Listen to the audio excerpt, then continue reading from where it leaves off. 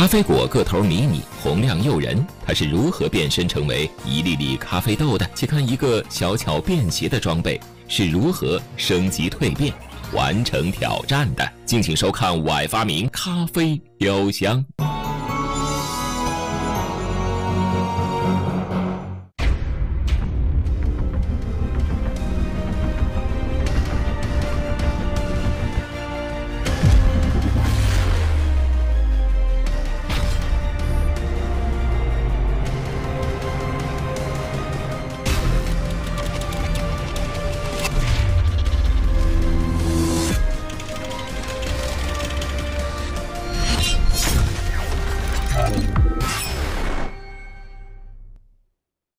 朋友们，大家好，欢迎大家收看《我爱发明》，我是主持人丁欣。今天做客我们演播室的科学顾问是来自清华大学的王子熙老师。王老师你好，你好，王老师，您爱喝咖啡吗？呃，我每天都喝咖啡，每天都喝，对因为咖啡呢，呃，非常呃提神。嗯，这咖啡豆啊，大家都非常熟悉。王老师，您有没有见过咖啡果呀？嗯，这个还真没有见过。这咖啡的故乡呢是在非洲的埃塞俄比亚。那咱们今天呢也不能跑去埃塞俄比亚哈。咱们的记者呢现在已经出发到达了云南了。我们来看看云南的咖啡果。大家好，我是中央电视台记者施涛。我现在来到的是云南省保山市。现在季节已经进入了深冬，但是保山依然是阳光和煦，绿树成荫。在这里，冬天的最高气温能够达到十七八摄氏度，而到了夏季，气候就更加的炎热。在这样的气候条件下，这里生长着一种特别的农作物——咖啡。我们现在就去了解下这里的咖啡是一个什么样的味道。云南是中国不多的咖啡产地之一，而保山又是其中的重要咖啡种植区。这里出产的咖啡被称为小粒儿咖啡。记者找到了当地的一家咖啡种植园，这个园区位于海拔将近一千米的山上，放眼望去都是成片的咖啡树丛。哎，师傅您好，能打扰您一下吗？啊，可以啊。我想问一下，你们这边种的是小粒咖啡吗？，对，小粒咖啡，小粒咖啡，这都是您家种的是吗？。对，这一片都是我们家的。哦，这里的咖啡种植区已有五十多年的种植历史，每年亩产在一百五十至两百公斤左右，是世界优质小粒儿咖啡的最佳生产地区之一。产出的咖啡豆颗粒均匀饱满，气味清新，是国家地理的标志产品。这个它里面有果浆，吃了还有一点微甜的，是吗？嗯可以吃啊，直接可以吃。可以吃。但是吃的是它的那个果果汁，果汁哎，它那个它的种子它不能吃的，就是吸里哎，面的液体。种子要等到它烘焙以后啊才可以吃。行，是要掏，是要掏机子。里面是比较甜，哎，对，对里面那个。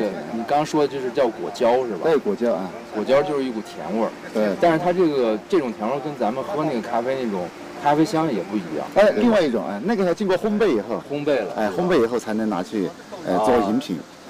宝山咖啡每年十月份进入成熟期，每二十天就会结出一批红果，一直延续到来年的二月份。这段时间也是咖啡园最繁忙的时候，人们要手工采摘咖啡，然后进行粗加工，这是咖啡园每年必经的工作流程。咖啡豆的粗加工主要分为脱皮、脱胶和晾晒三个步骤，无论是大型咖啡企业还是农户小作坊，都要如此进行。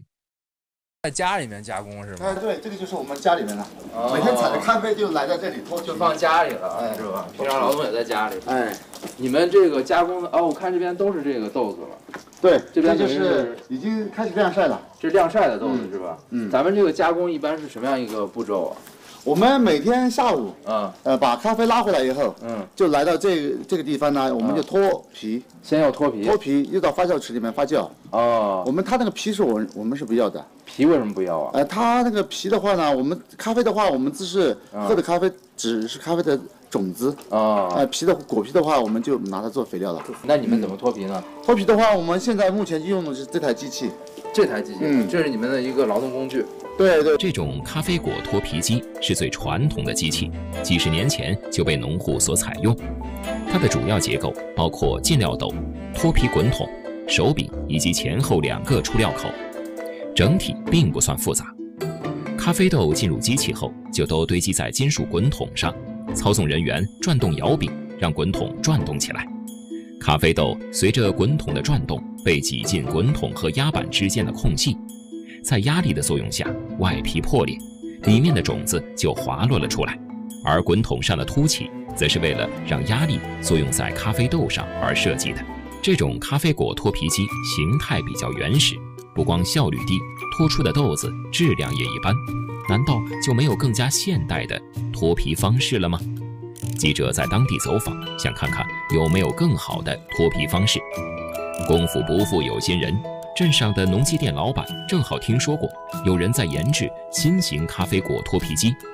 记者问到了联系方式，一路寻找，来到了发明人的研发工作室。哎，你好。哎，你好。那你找谁呢？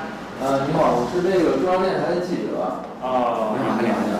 是这样的，我是听说你们这儿是在做一个咖啡脱皮的机器，有没有这样的一个机器呢？在做呀。发明人姚继玉发明团队发明项目：咖啡鲜果脱皮机。记者跟发明人说明了来意，姚继玉同意了摄制组进行采访。两人来到了机器研发中心。啊，就是这台机器是吗？对，就这就这台。哦。姚继玉设计的脱皮机参考了传统的手摇式脱皮机，但是有所区别。为了提高机器出豆产量，不光是采取了电力驱动，姚继玉还精心打造了滚筒。滚筒是脱皮机最关键的部分。脱皮过程全是依靠它来进行，而滚筒上的齿爪又在脱皮过程中起关键作用。姚继玉反复试验了齿爪的大小、角度、数量和位置，让齿爪个头更大、数量更密集，最终打造出了眼前的滚筒。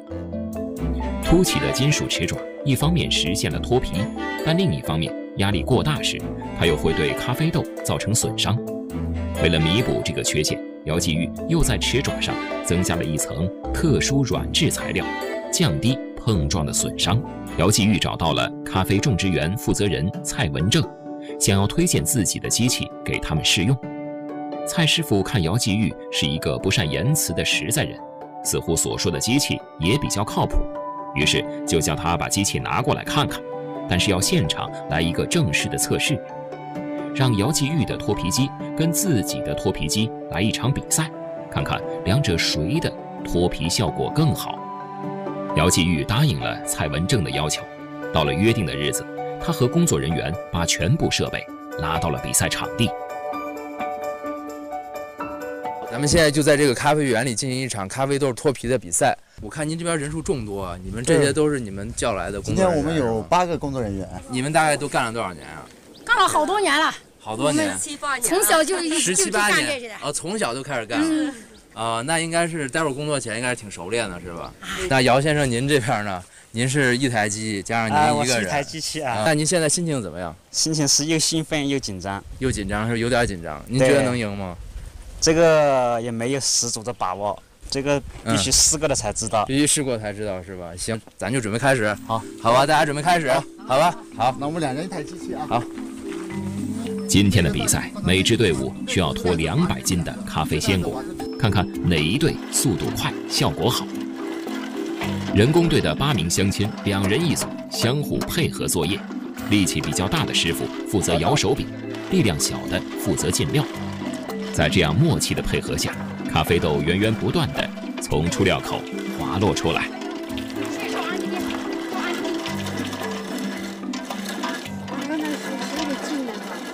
哎，杨师傅，我看您这边有小半盆了哈。是。您这个小半盆拖着豆子，现在这个质量怎么样了？质量还可以。还可以是吧？您能给我讲讲您是怎么看这些豆子的？它的不是，呃，豆多可少。豆多壳少。啊啊。然后它脱的干净嘛。二一个，它这个梯子咬的豆豆底也是一点也是少。啊，就。就像这种不要有破损，呃，破损豆啊，也很少。你能看，你一眼就能看出来有破损，一眼就可以看出来。人工队经验丰富，动作娴熟。第一次参赛的姚继玉那边情况又怎么样了呢？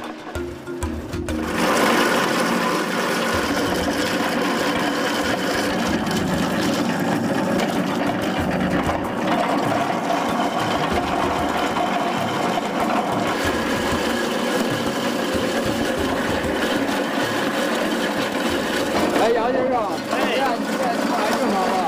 还正常的，机器都还正常是吧？正常对。好，我看已经拖了这么多豆子了。哎，对。是吧？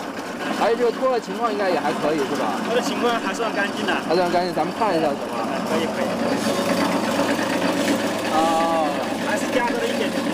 对对，但是说我觉得整个的效果还都不错。啊，这个还是百分之九十五应该都是豆子，对对对吧？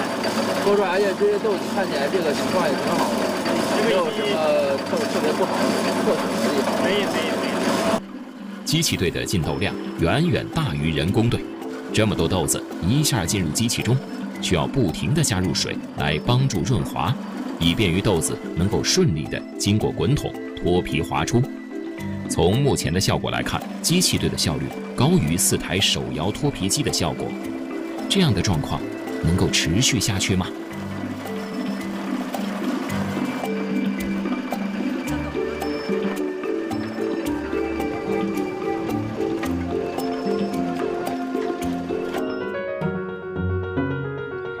过了四十三分钟的作业，姚继玉的机器完成了两百斤咖啡豆的脱皮，而人工队却用了五十五分钟。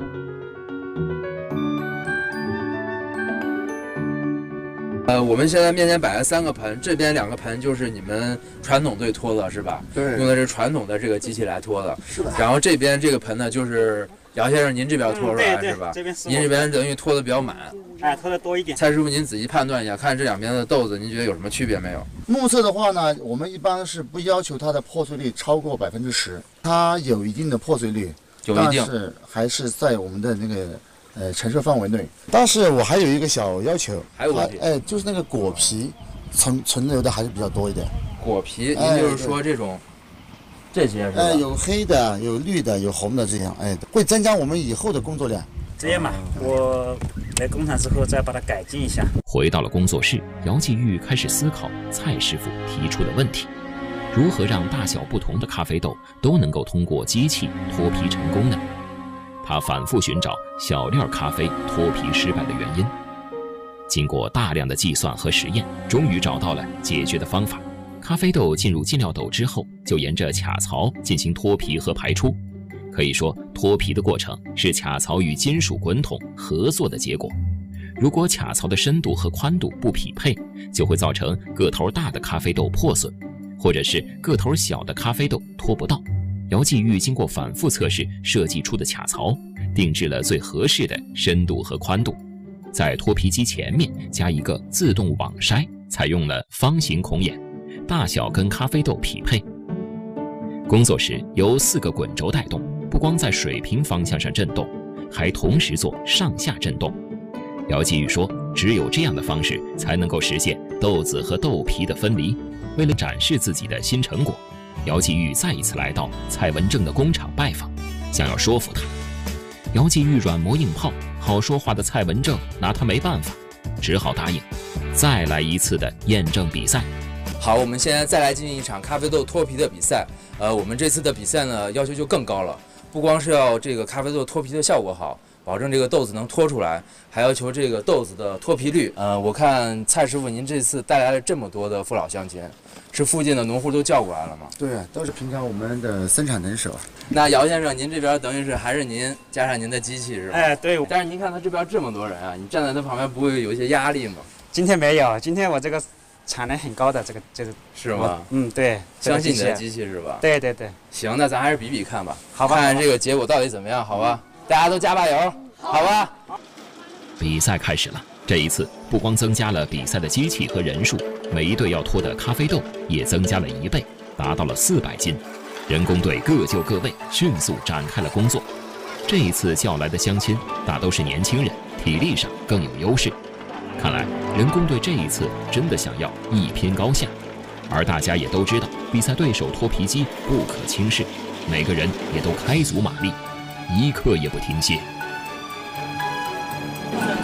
哎，蔡师傅，您这边是在干嘛呢？哦，我们为了给它提高那个产品的这个干净度，我们还人工再筛一下。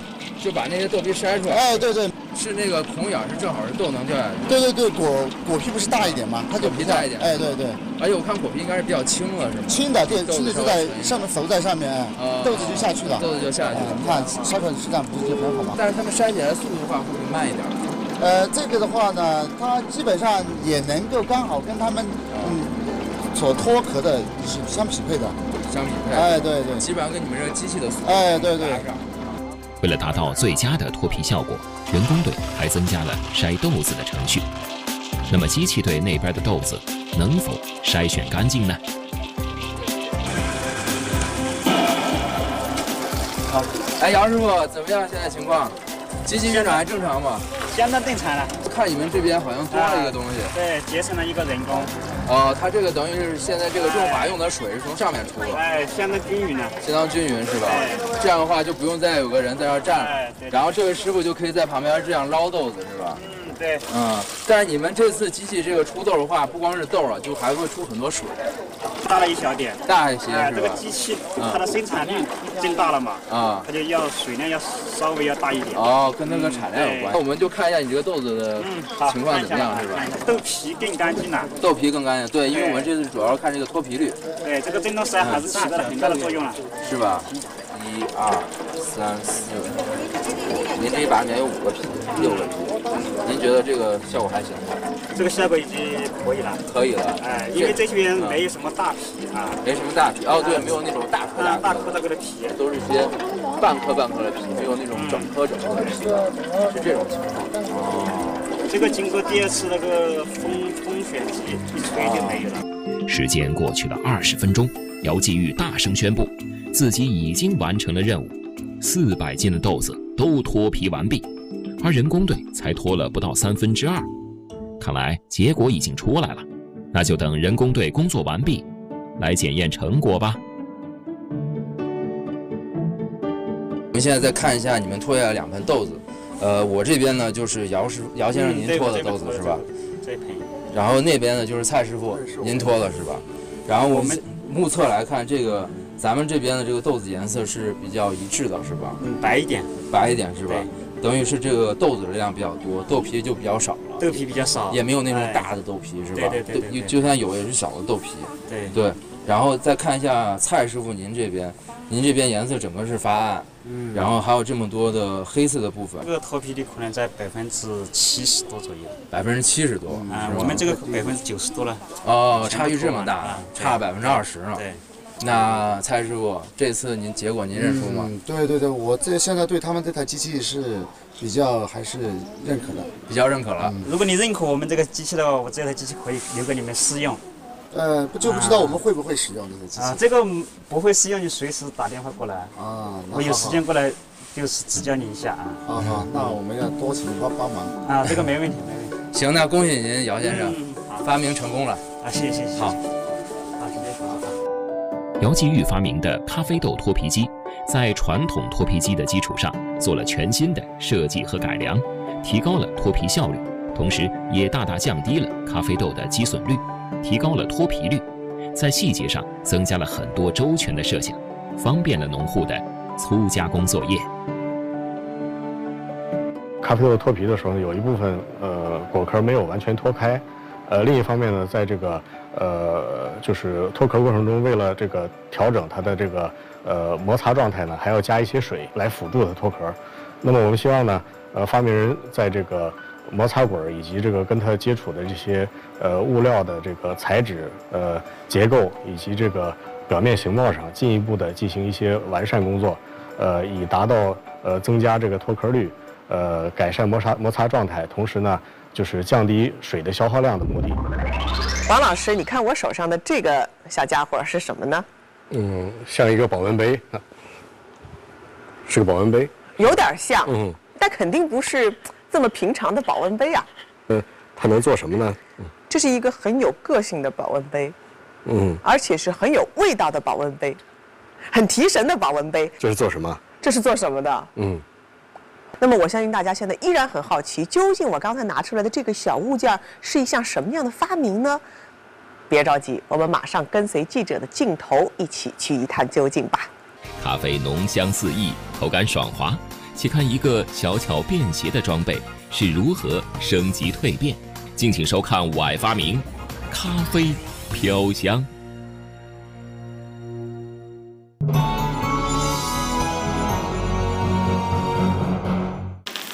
咖啡果红亮诱人，红色的果肉包裹着两粒咖啡生豆。咖啡生豆主要由果胶层、内果皮、银皮、内胚乳、子叶组成。经过烘焙研磨后，就可以冲泡成可以喝的咖啡了。咖啡粉在冲泡时不会全部化掉，只有百分之三十可以溶解到水中，剩下的百分之七十则会成为残渣。在混沌困乏的早晨，一缕咖啡的香气足以让我们神清气爽、垂涎三尺。因其冲泡后散发迷人的香气，独特的口感，收获了世界各地人们的青睐。如今，喝咖啡渐渐成为了一种生活习惯。你平时喜欢喝咖啡吗？平时还行吧，一般喝的话就速溶喽。都是在外面咖啡厅买的，自己做的话就很麻烦。茶跟咖啡，咖啡喝起来会有有一股那种香味儿吧。嗯嗯，茶嘞，要是约三五个朋友一起喝，可能那个感觉就不一样吧。虽然制作咖啡的方式纷繁多样，但是无论哪种方式都离不开三个步骤：湿润、溶解和分离。湿润是把研磨的咖啡粉彻底湿透的过程。咖啡中含有很多挥发性成分，湿润会帮助其充分释放。第二个步骤溶解，就是把咖啡粉中可溶性物质溶解到热水中。最后一步是分离，咖啡溶液离开咖啡粉，进入到周围的水中。溶解和分离一般都被统称为萃取。经过实践，人们创造出了煮泡、加压、浸滤等多种萃取方式。如今，咖啡已经渐渐走入千家万户，成为了生活中的一部分。今天，我们的记者就准备进入广东佛山的一个小区，随机走访一户人家，了解下普通家庭是如何制作咖啡的。哎，你好，打扰一下。啊，我想问一下，就是平时你在家就是这个做咖啡吗？还是？嗯，偶尔吧。那我能了解一下你平时是怎么做的吗？平时啊，可以啊，进来坐吧。嗯，好好好。哦，这就是那个咖啡机是吧？嗯，比较长时间的，可以说是老咖啡机了。哦，就可能用的时间比较长，还是有感情。哦，舍不舍得扔。眼前的这个咖啡机分为上下两层，被称为美式咖啡机。采用的是浸滤式的萃取方式，咖啡粉放在上层装有过滤器的容器中，下层则为咖啡壶。启动后，位于右侧透明杯筒中的冷水会被逐渐加热到九十度左右，并渐渐地进入上层容器中。使热水滴到咖啡粉上面，随即流入下方的咖啡壶内。过了大约五分钟，一杯浓香四溢的咖啡就被萃取出来了。来，现在我们可以煮好了，煮好了，尝一下。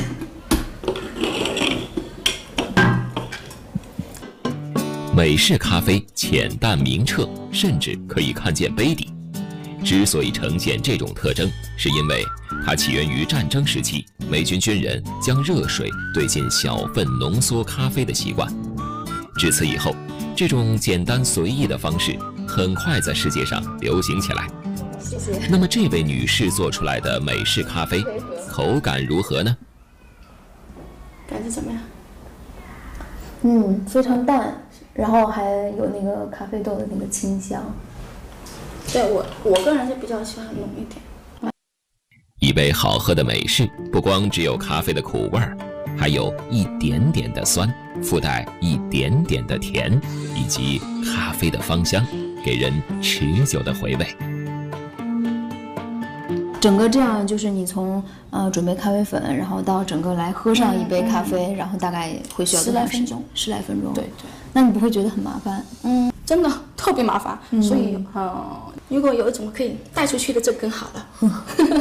小小的，因为我们到野外的时候，有时候想喝一点咖啡来着，没工具，然后你要带的水啊什么都特别麻烦，这种带不出去。说真的，在外面你没有电呐。这位女士的话说出了很多咖啡迷的心声，李科便是其中之一。这位三十八岁的广东人，早在二零零六年就萌生了这样的想法。发明人李科发明项目便携式咖啡机。我们很小，从五岁开始就在我爸的这个带领下呢，就第一次接触了咖啡。当时呢，就虽然很小，喝起来呢有现在都忘记不了的味道。后来慢慢慢慢就养成了这个爱好，所以在这个过程中呢，慢慢也产生了一个想法，想要做一个呃我自己研究出来的这样的一个咖啡器具，可以更便利的去制作一杯好的咖啡。就是带着这样一个想法，刚刚大学毕业的他，放弃了自己所学的国际金融专业，踏上了跟咖啡朝夕相伴的发明之路。李科发现，由耐热玻璃瓶身和带压杆的金属滤网组成的咖啡冲泡器具，既简单又小巧，与自己的研发初衷不谋而合。但是通过尝试，他发现。这种方式是将热水和咖啡粉充分浸泡后，经过滤网将水粉分离，制作出咖啡。但是由于滤网孔径的问题，会有一些咖啡渣无法过滤，残留在水中，这样在一定程度上会影响口感。于是他就在滤网上进行了调整，将滤网的口径重新定制加工，孔径缩小为原来的二分之一。这样不就是一台便携好用的咖啡机了吗？这天，我们的记者接到李科的电话，准备现场试用一下。哎，李先生你好。啊。嗯，你好。我听说您发明了一个这个小型的咖啡机，是吗？哦，对，这个就是我正在研究的一个小型的咖啡机。哦，这个就是是吗？对。我感觉好像看起来有点像之前的那种，嗯，就是。泡茶的那种是吗？啊，对，它的这个的原理呢，就跟泡茶的是有点呃相似的，但是呢，也有一点不同，是什么呢？那个它它在那个使用浸泡之后呢，我们是用上面的这个过滤反向的过滤，让让那个出来的咖啡比较清纯，很比较简单，就能做出一杯咖啡来。哦，您要不要试一下？我请您喝杯咖啡好吗？好，谢谢。李科告诉我们，用这种按压的方式冲泡咖啡，需要将水温控制在九十二度左右，温度过高就会破坏咖啡的口感，而浸泡的时间则由咖啡粉的粗细来决定。一般来说，越细的粉，浸泡时间越短。下一个动作。今天的咖啡粉是李科用自己挑选咖啡豆研磨而成的。据他介绍，浸泡六至八分钟就能够将咖啡中的物质充分萃取出来。七分钟过后，李科开始进行按压了。此时，咖啡的香气已经弥漫开来。用这个滤网把咖啡渣压下去，让大家就可以直接喝比较纯净一点的这个咖啡液了。哦，其实是能看到的，底下有一层很明显的分层，是吧？对，底下那就是咖啡渣，它是不溶解的。对，等于是为了保证口感，所以有这么一个步骤，是吧？对。香味儿是咖啡的生命。根据研究，这迷人的香气是由八百五十多种芳香物质构成的。咖啡自身的香味儿是形成整体风味属性的主要原因，可以散发出玫瑰、巧克力。香草及紫罗兰的味道，还有松露、奶酪，甚至白酒的香味儿。那么今天，李科用自己的设备亲手做出来的咖啡口感究竟如何呢？嗯，但是太苦了，这个好苦啊，跟喝中药一样。不好意思，苦涩。可能也是有点问题，不不是太好。苦涩的口感预示着咖啡冲泡失败。那么究竟是哪里出现了问题？咖啡粉，还是水温，亦或是冲泡时间？种种推测在李科脑中环绕。要想解决、搞清楚口感的问题，就要从咖啡本身的成分开始研究。咖啡主要由咖啡因、单宁酸、脂肪、蛋白质、糖、纤维和矿物质组成。在不加糖的情况下，除了会感受到咖啡因的苦味、单宁酸的酸味，还会感受到甜味。这是咖啡本身所含的糖分所造成的。在这几种成分中，任何一种过量或者不足，都会对口感产生影响。测试时出现中药般的苦味儿，就是因为有些成分萃取过度了。李科重新开始调整思路。既然浸泡过滤的方式行不通，那就换成加压的方式来萃取。设计好结构图后，李科找人加工生产出了全新的便携式咖啡机。他马上跟记者分享了这一消息。李先生，听说你这个又造出新的来了，是吗？哦，对，小黑老师，你又来了。嗯，对你不是说弄好了吗？所以我就过来了。这个就是是吗？对，这个我们针对以前的这个就操作比较麻烦的一些问题呢，我们就又做了一些研究。改进后的咖啡机有压杆、活塞、咖啡粉槽、滤网、咖啡杯、底座组成。制作咖啡时，在压杆的作用下，热水会持续受到九个左右的大气压。此时，气压橡胶阀会打开，压力伴随着热水传导至粉槽中的咖啡粉，咖啡中的精华部分便会被萃取出来。那么，这个小小的咖啡机能够做出美味的咖啡吗？我们往这里加满粉，就是在七克粉左右。李科告诉我们，这种加压的制作方式完全不同于上次。它是由八十至九十六摄氏度的热水，以九个大气压的力道通过咖啡粉制成。通常一杯只有三十毫升，带有独特的香气和一抹油脂浮在表层，被称为浓缩咖啡。它可以单独饮用，也可以进一步制成多种其他饮品，冲煮快速且咖啡因含量低。这让我们对这次的咖啡口感充满了期待。现在已经基本上都压完出来了，它的液体已经全部都释放完毕到这个咖啡杯里面，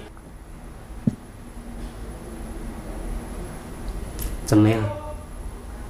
嗯，这次它就是有那个咖啡豆的那个清香，满口都有一个回味的感觉，不像上次那样一喝进去很刺激、很苦。嗯，是的。那个，您看你喝的时候，这里有一些油脂都粘在这个杯杯子的这这些地方。那我觉得这个还不错，而且这个上面这层油脂也特别好，说明它这个萃取的还是可以的。但是呢，我毕竟不是专业的，咱们一起去找专业的人来看一看怎么样？好呀，那我们找一些专业人士一起来看一看。那么，立科的咖啡机能否得到专业人士的认可呢？我们一起来到一个专门制作浓缩咖啡的工作室，准备让这里的咖啡师试用一下。欢迎光临，哎，你好，请问二位要喝什么口味的咖啡？哦，是这样的，那个您怎么称呼啊？我叫思红。哦，那是这样子，那个我叫李科，那个我在做一个新的一个研究，呃，今天过来呢是想到你们咖啡厅这里一起来。来来来看一看这个东西到底好不好用？您帮我忙，我们忙一起来品鉴一下好吗？这是个小的咖啡机。这么小的一个杯子，它是做那种法压的吗？呃，其实不是的，我这个是一个跟你们店里面用的这种电动的这个意式咖啡机的压力一样的，可以做到九个八的。这个能跟这个机器的效果一样吗？呃。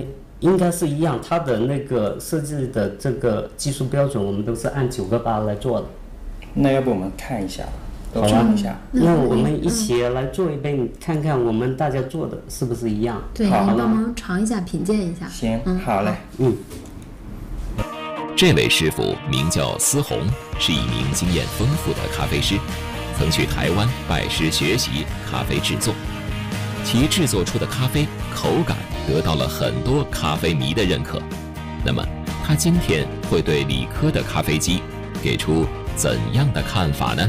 二人现场分别进行了制作。思红使用的是意式咖啡机，利用高压蒸汽和水的混合物，快速穿过咖啡层，瞬间萃取出咖啡中的物质。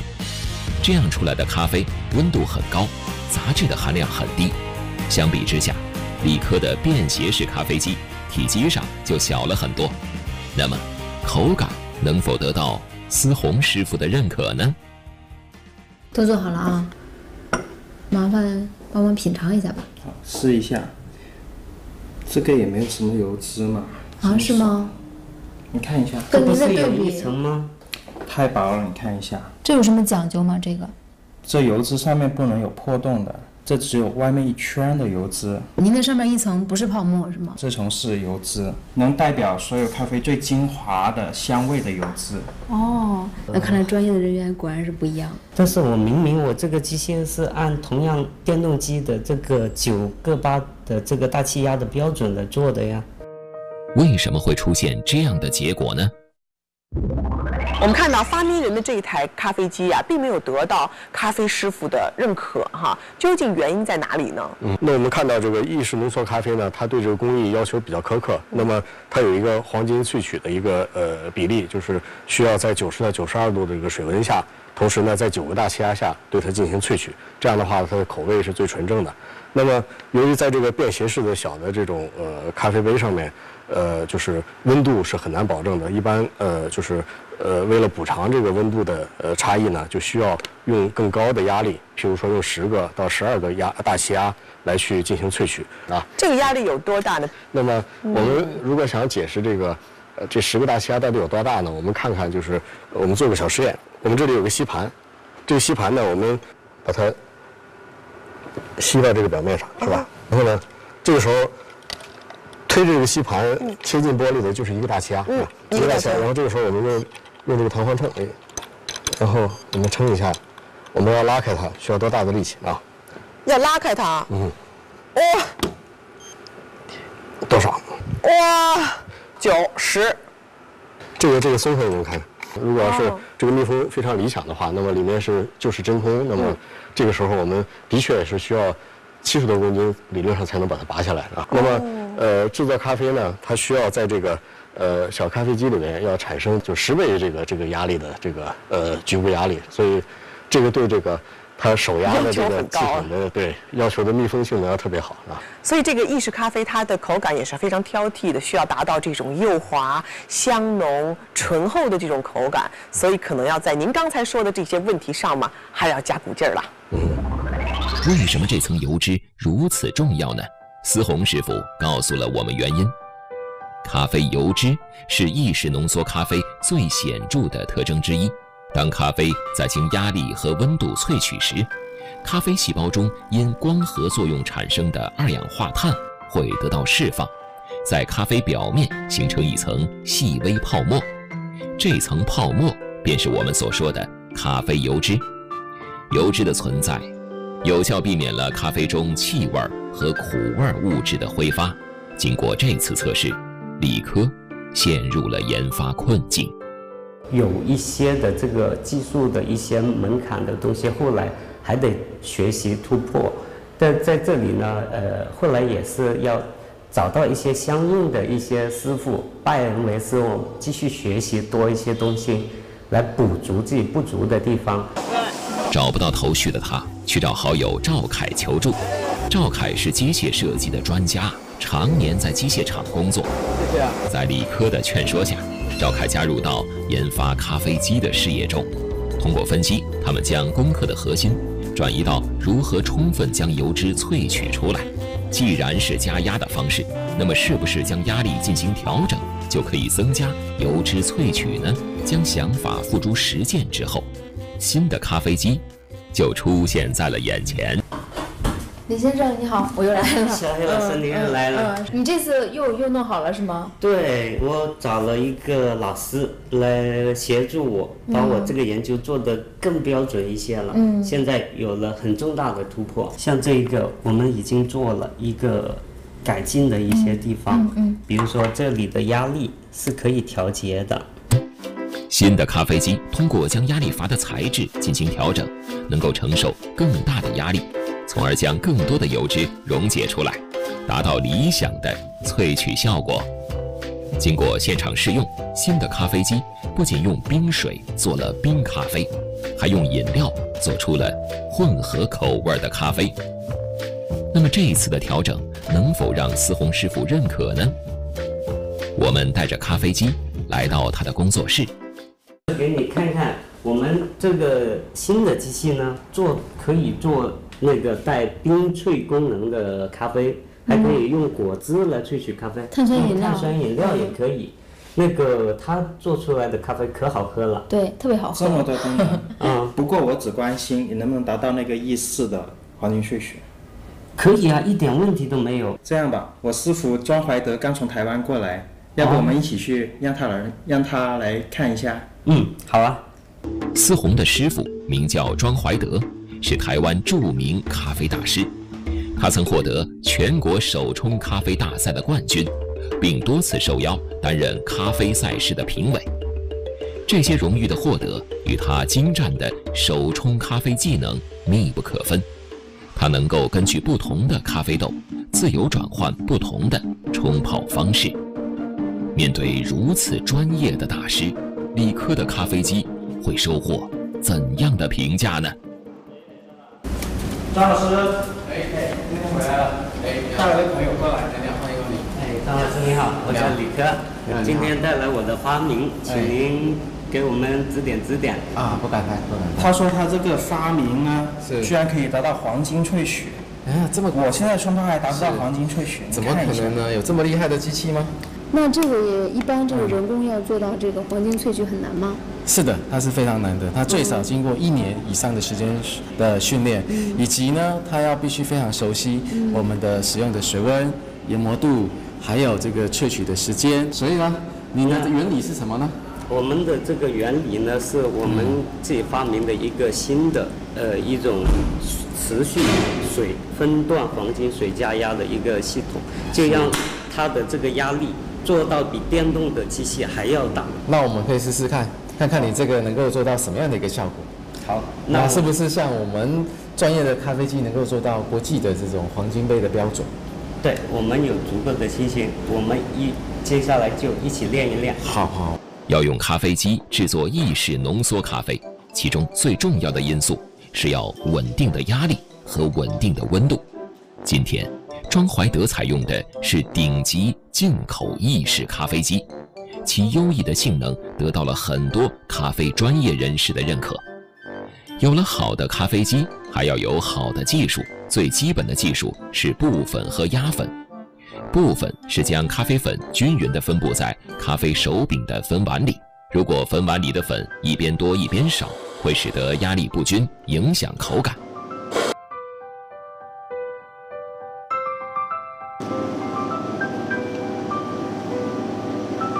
压粉是用粉锤将粉碗里的咖啡粉压平，使其密度相对均匀。如果粉碗里的粉一边高一边低，一样会导致压力不均。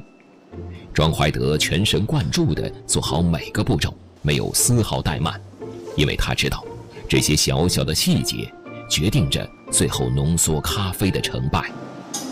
李科的便携式咖啡机则是采用高压的方式萃取，水和咖啡粉的比例都已经在发明之初设定好了，只需将其装满即可。作为一个非专业人士，李克的操作看起来没有庄怀德那么娴熟。那么，他用自己的咖啡机做出来的咖啡，能够与之相媲美吗？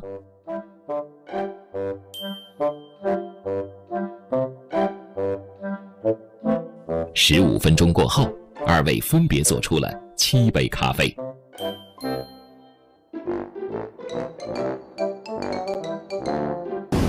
做好了是吗？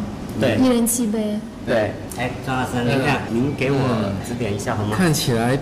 表面的油脂呢是非常的丰富饱满，覆盖了整个液体的表面，是非常的好。但是呢，要喝了才会知道。我想我们来邀请我们在店里面的客人一起来品尝一下，看看味道怎么样。好，我同意。这个因为它毕竟就是给大家喝的东西，大家喝了好喝才是最好的。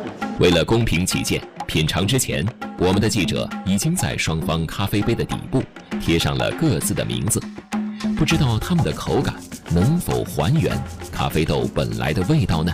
顾客们又会给出怎样的评价呢？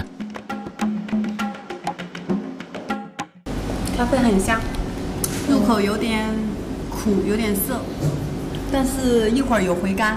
单单从香味来看的话，就没什么太大的区别，但是个人口感还喜欢这一杯吧。哦，嗯，口感会稍微滑一点。我感觉这一杯稍微口感会更醇厚一些。啊，这两杯咖啡我感觉都很好，真的要选说哪一个好，真的很难哦。那我觉得这杯会更好一点。那我觉得这一杯更符合我个人的喜好。经过品尝投票，李科获得了三票，庄怀德获得了四票。哇，那现在就是等于是您是四票对吗？是的。李师傅是三票。是的。那这样的这个呃李师傅这个他没有达到这个黄金萃取。这也不能这么说啦，咱们这个咖啡它是一个嗜好性的饮料。嗯。那么呢，你看刚刚问了那么多的客人呢，呃，有喜欢的也有不喜欢的。对。其实我们有一个更客观的一个仪器呢，就是这个仪器。这个仪器呢，就是我们的浓度检测仪。那走，我们去测量看看。从科学的角度看，咖啡粉的萃取率的浓度标准在百分之九至百分之十一，所泡出的咖啡最美味。那么，他们二位做出来的是否符合这个标准呢？庄怀德拿出的这个专业的测试仪器，会测出怎样的结果呢？在我们的这个仪器的辅助底下呢，哈，李先生所得到十点三的这个浓度，那在机器呢做出了九点多的浓度，那么呢，在我们整个黄金杯的那个浓度的标准呢是在九到十一之间，所以呢，不管是在机器或者是李先生带过来的机器呢，同样都是可以做到一个符合黄金杯标准的咖啡。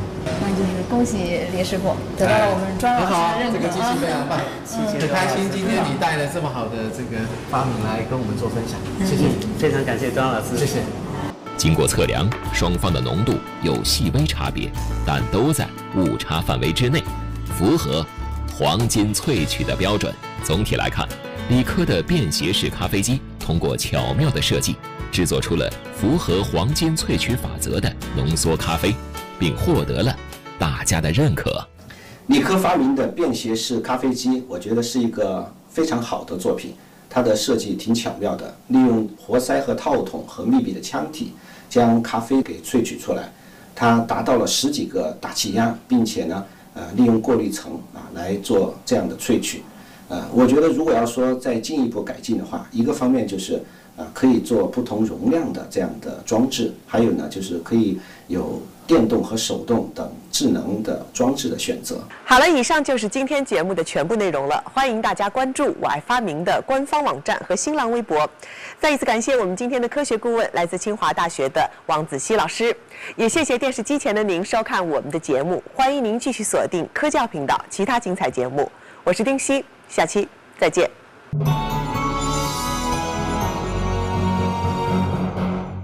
小小锥筒是日常出行的安全卫士，收放锥筒却危险重重。